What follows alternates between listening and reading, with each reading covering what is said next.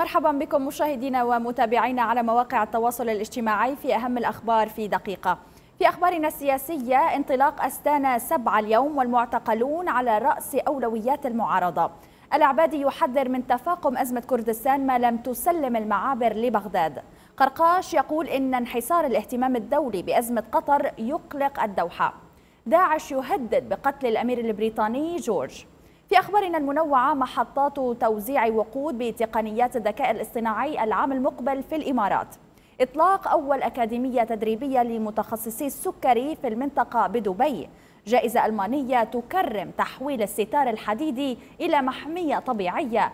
دراسة جديدة تؤكد أن عربات التسوق أكثر تلوثا من أبواب دورات المياه